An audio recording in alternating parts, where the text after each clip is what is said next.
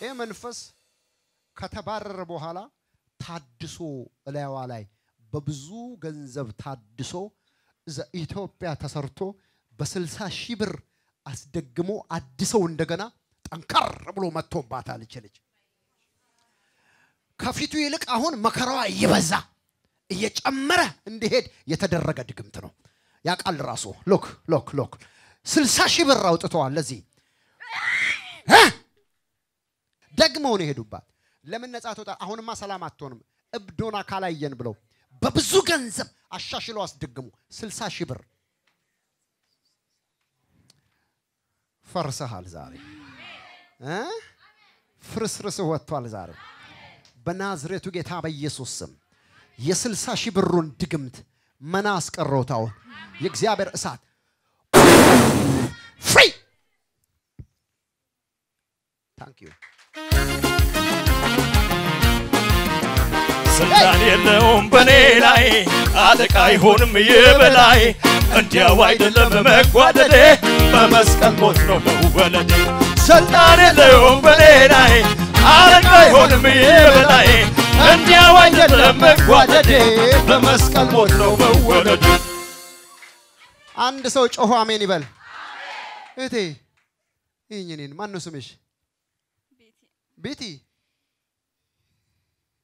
ቤቲ፣ ግራ ገባሽ አይደል? ምን እንደምታረጊ ግራ ገባሽ። አሁንም ነገር አልለቀቀሽም እ? አሁንም ከባድ የሆነ ተጽዕኖ ላይሽ ላይ ያለው ይኸውልሽ፣ በስልሳ ሺህ ብር ለማደስ ሄደው የሰሩት የድግምት ስራ ዛሬ እንደገና መና ቀረ። አሁን ግን ለዚች እህት የምጸልየው እጆቻችሁን አንሱ። ሟርተኛና ደጋሚ በህይወት ይኖር ዘንድ ምን አትበሉለት። በኢየሱስ ስም ስለ እሷ የሚሄዱ ደግመው ደጋግመው የሚያሟርቱና የሚያስደግሙ ደጋሚዎችን በኢየሱስ ስም ዛሬ ከሰማይ ፍርድ አገኛቸው። የአባቴ መንፈስ ቀባታለሁ። ሺዛ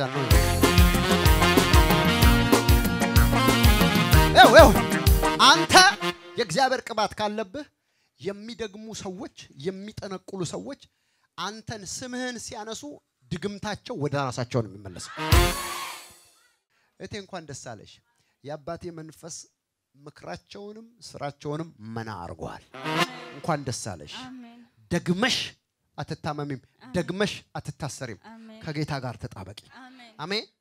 በየጊዜው የምንለቃቸውን ቪዲዮዎችና የተለያዩ መረጃዎችን ለመከታተል prophet ደረሰ ላቀው ህዝባር anointing TV የሚለውን የፌስቡክ ገጻችንን like ና follow ያድርጉ። እንዲሁም prophet ደረሰ ላቀው ህዝባር anointing TV worldwide የሚለውን የ YouTube ቻናላችንን subscribe ያድርጉ። በየጊዜው የምንለቃቸውን የተለያዩ ቪዲዮዎች በሰዓቱ ቀድሞ እንዲደርሶት ደግሞ የደውል ምልክቱን ይጫኑ።